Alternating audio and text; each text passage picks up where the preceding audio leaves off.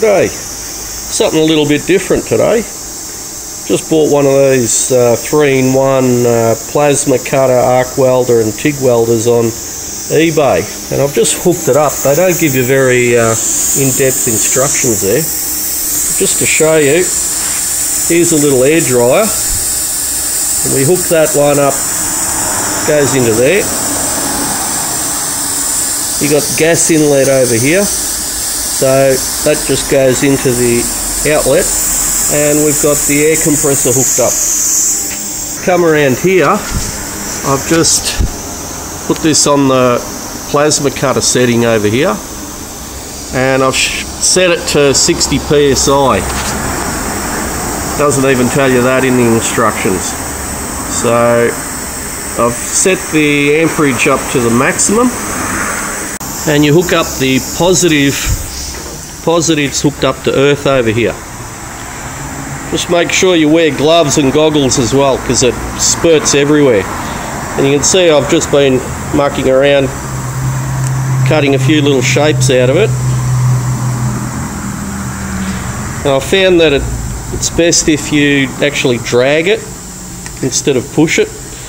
Um, and I'll just chop this bit off here.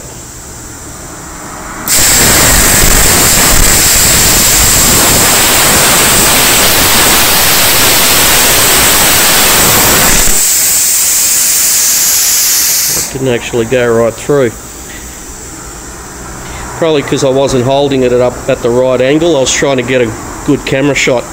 But you can see the idea of it anyway. Not a bad little jigger. But you definitely have to do your homework on um, how to set it up. Good to have a scrap bit of metal and just have a bit of a practice with it too. I'm going to get some argon gas and um, test out the TIG welder um, on this as well uh, but I'll make that in an, another video. You can actually get a foot operated pedal instead of having this hand operated switch. We'll have an extra hand available if you need to do anything like that um, by having a foot pedal. But that's about all I could do. This plug here, I'll just switch that off over here at the main and that fan will come off there too. I think there are seven pin.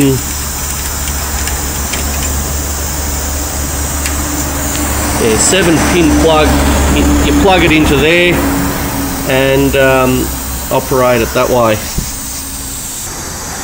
Anyway thank you for watching